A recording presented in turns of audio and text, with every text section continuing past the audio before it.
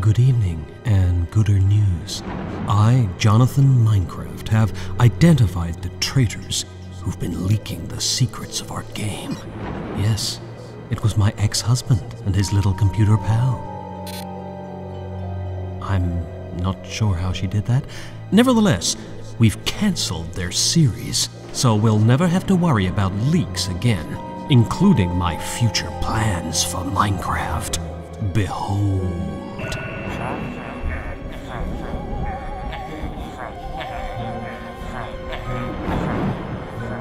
Oh, it's far too late for that. This is the future of Minecraft. Nobody and no computer can stop me now.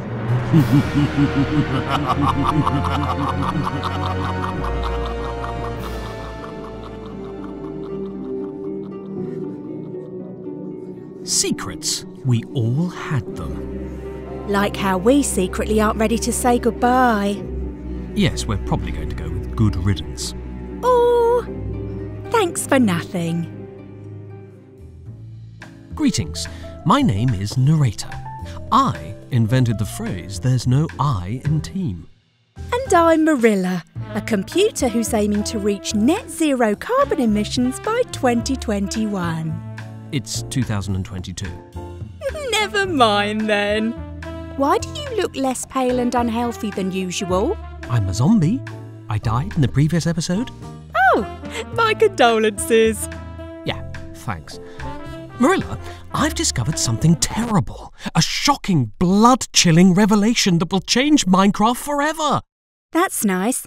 Anyway, let's talk about mud. No, we need to warn the Minecraft players about.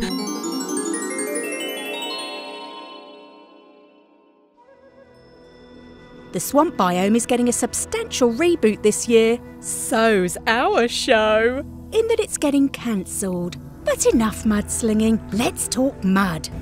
Now, you'd think getting mud into a game is easy, especially if you don't treat your game boxes very hygienically. But mud has actually been quite the diva.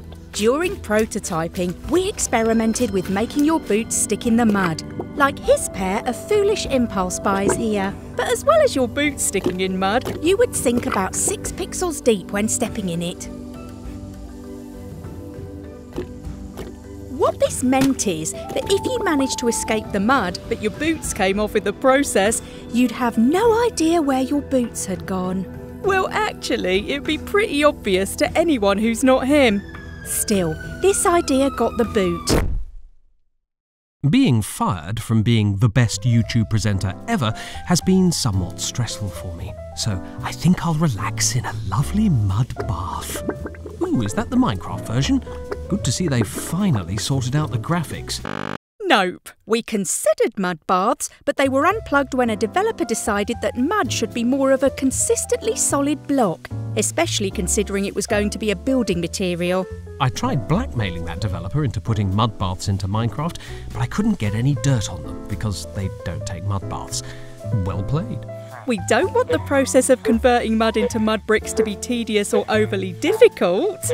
But if we make it too easy, we run the risk of boring the player and also insulting the cultures who make mud bricks in real life. And in my experience, it's never a good idea to offend people who can make bricks. But we hope you enjoy this new building block more than he is. Over the last few months, we've revealed a lot of secrets. By sharing ideas that didn't make the cut, we hopefully helped you see how much effort we put into making every Minecraft feature as good as it can be. But this is the final episode. I promised I wouldn't cry, so I won't.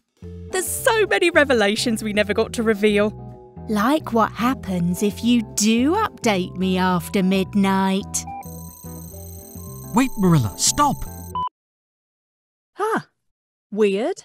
We never got to reveal the song that was supposed to play over Minecraft's opening. Life is pain, So why not play this game? Try playing it all while you wait for something better to install. It's Minecraft. And we never got to tell you that they're putting Mobbo in Minecraft in a desperate attempt to boost sales, probably ruining the game forever. Yeah, shame that. Bye. Wait, what? They can't do that. No one ruins Minecraft but us. You're right. Let's move.